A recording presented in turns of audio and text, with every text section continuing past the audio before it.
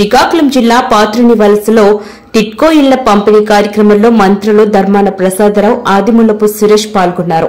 ఈ సందర్భంగా వాళ్ళు మాట్లాడుతూ పేదల ఇంటి కలను సాకారం చేయడమే తమ ప్రభుత్వ ధ్యేయమని అన్నారు. వసతులు కల్పన పూర్తయ్యాకే ప్రారంభానికి శ్రీకారం దిద్దామని అన్నారు.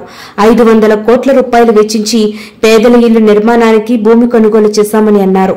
ఈ కార్యక్రమంలో జిల్లా collector Srikesh B Lathkar TIDCO MD Chitturi Sridhar chairman Prasanna Kumar ఇతర కార్పొరేషన్ చైర్మన్ మామిడి శ్రీకాంత్ అందవరపు సూరిబాబు మాజీ మున్సిపల్ చైర్పర్సన్ మెండాడ పద్మావతి పైడిశెట్టి జయంతి తదితరులు పాల్గొన్నారు. ఈ కార్యక్రమానికి మున్సిపల్ కమిషనర్ చల్లా ఓబులేసు అధ్యక్షత వహించారు.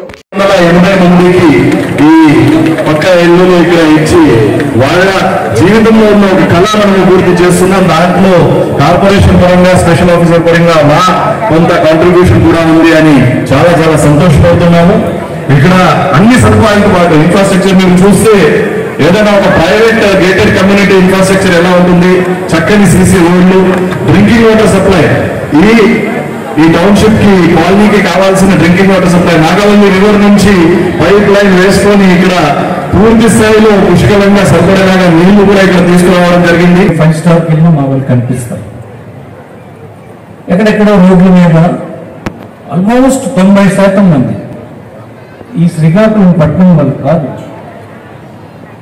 బయట జిల్లాల నుంచి గడిచిన ముప్పై సంవత్సరాలు నలభై సంవత్సరాలు యాభై సంవత్సరాల క్రితం నుంచి వచ్చి ఇల్లు లేక అద్దెళ్ళల్లో చిన్న చిన్న ఆవాసాల్లో అందరూ ఇంటి సభ్యులందరూ పడుకోవడానికి కూడా వీలు లేకుండా ఒకరి తర్వాత ఒకరు భోజనం చేసి వెళ్ళిపోతున్నారు. అంటే టౌన్ పక్కన ఉన్న భూమి ఇది నాలుగు కోట్లు ఉంటుంది ఎకరం ఐదు కోట్లు నాలుగు కోట్లు ఖరీదు ఉంటుంది. వాళ్ళు అడిగితే మీ ధర్మ ఇలా ఇప్పించడం అని.